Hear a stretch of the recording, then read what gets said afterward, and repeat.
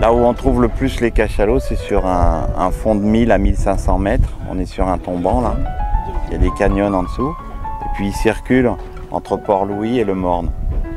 À 5-6 nautiques de la côte, 10 nautiques de la côte. Et ils circulent là de façon, ils montent et ils descendent. Ils cherchent de la nourriture dans les canyons. Donc ils, émettent des sons, des clics. La dernière fois, j'ai entendu au moins trois comme ça, clang, clang. Et des fois, il répond, il y a un qui fait clang, puis là, t'entends un clang, clang, clang, comme ça. Ils essayent de repérer leur proie.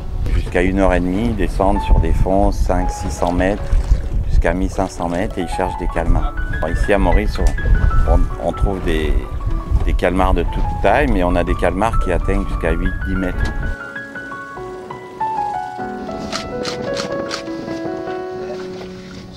Python, Python, Python est là. Allez-y, allez-y, allez-y. Cachalot dans 3 minutes. À gauche À gauche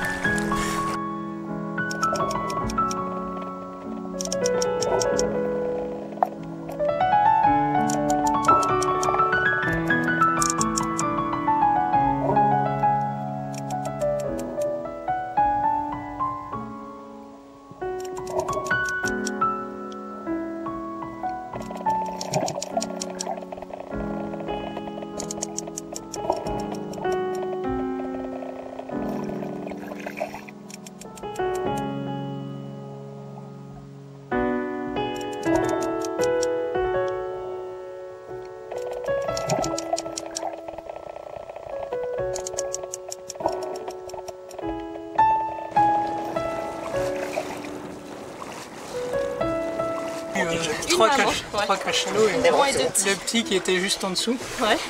Et un Et plus on était euh, super près, t'as l'impression que tu tendais la main, t'allais les toucher, on voit super bien, mieux, ça, comme, mieux qu'au cinéma.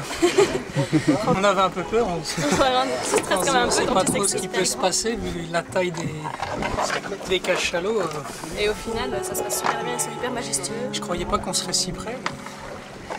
Et une fois qu'on est dans l'eau, on n'a plus peur. on a envie d'aller les toucher.